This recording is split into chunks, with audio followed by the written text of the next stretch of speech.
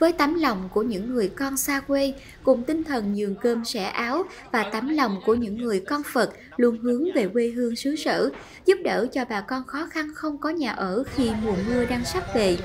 Sáng ngày 30 tháng 3 năm 2021, 18 tháng 2 năm Tân Sửu, Hội từ thiện Tường Nguyên đã khởi công năm máy ấm tình thương tại huyện Ba Tri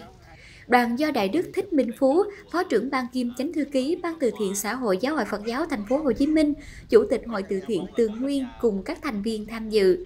Về chính quyền, có bà Ca Thị Lắm, Chủ tịch Hội Bảo trợ Người Tàn tật trẻ mồ côi huyện, ông Bùi Thanh Dương, Phó Bí thư Thường trực huyện ủy cùng chính quyền địa phương đồng tham dự. Chung tay cùng Hội từ thiện Tường Nguyên xây nhà cho bà con có hoàn cảnh khó khăn lần này là Thượng tọa Thích Pháp Hòa, trụ trì chùa Trúc Lâm Tây Thiên và quý Phật tử hải ngoại hiện đang sinh sống tại Canada.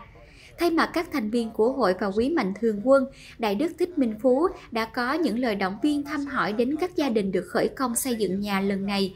Đại Đức cũng như các thành viên của hội mong mọi người có được ngôi nhà mới để có được cuộc sống an vui, từ đó làm động lực cố gắng vượt qua mọi khó khăn để có được một cuộc sống hạnh phúc đại diện chính quyền địa phương, bà Ca Thị Lắm đã có những lời cảm ơn đến với Hội từ thiện Tường Nguyên, đặc biệt là Thượng tọa Thích Pháp Hòa, trụ trì chùa Trúc Lâm Tây Thiên và quý Phật tử hải ngoại đã luôn hướng về quê hương đồng bào, giúp đỡ các gia đình khó khăn về nhà ở và gửi lời chúc sức khỏe, hạnh phúc đến quý thầy, quý Phật tử hải ngoại và các thành viên trong Hội từ thiện Tường Nguyên.